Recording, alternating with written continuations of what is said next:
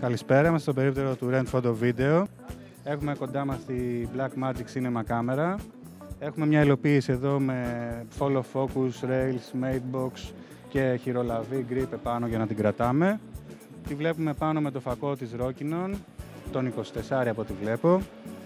Είναι μια πολύ ωραία υλοποίηση, μπορεί να μας βγάλει RAW αρχεία ε, σε σκληρό SSD έχει όλες τις σχετικές συνδέσεις από SDI για να βλέπουμε στο monitor μας την εικόνα, τροφοδοτικό για την μπαταρία, δύο εισόδους ήχου, ακουστικά, όλα τα βασικά πράγματα που χρειαζόμαστε και ενσωματώνει monitor και εγγραφέα, οπότε είναι μια πλήρης ε, κάμερα που έχει σχεδόν τα πάντα όσα χρειαζόμαστε για να κάνουμε μια επαγγελματική λήψη βίντεο.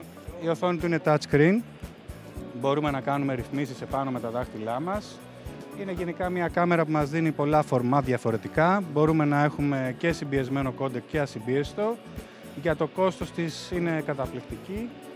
Ε, εδώ διατίθεται από το κατάστημα στην τιμή των 120 ευρώ για τρεις μέρες με δύο SSD σκληρούς.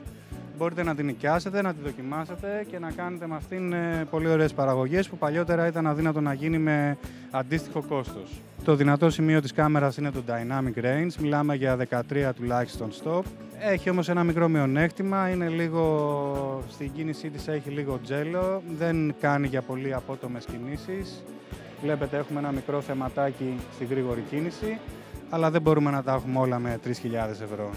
Επίσης, ένα άλλο ενδικό που μπορούμε να πούμε είναι ότι το monitor του δεν έχει μεγάλη ευκρίνεια. Σε δύσκολες συνθήκες φωτισμού έχουμε πρόβλημα. Είναι πολύ αντανακλαστικό και δεν μπορούμε να δούμε καλά την εικόνα.